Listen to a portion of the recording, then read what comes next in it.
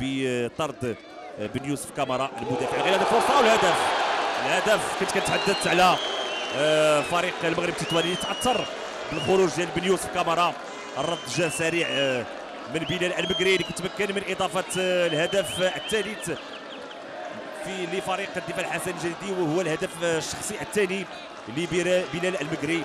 في هذه المباراة نتابعوا محمد علي بن معمر تمريرة وبلال المقري ما زاد ما نقص.